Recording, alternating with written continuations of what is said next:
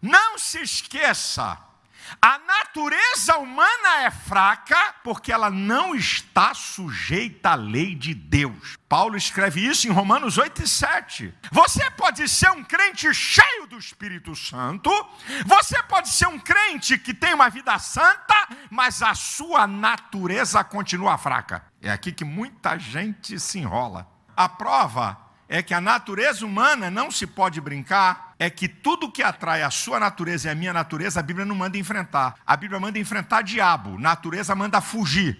E a Bíblia só manda fugir de algo que é maior do que eu. 1 Coríntios 6, 18 diz: Fugir da prostituição. 2 Timóteo 2, 22, foge dos desejos da mocidade. Dá no pé. Está atraindo, não tem outra fórmula, irmão. É para mim para você, vale para qualquer um aqui. Atraiu a tua natureza? Cai fora. Está atraindo você?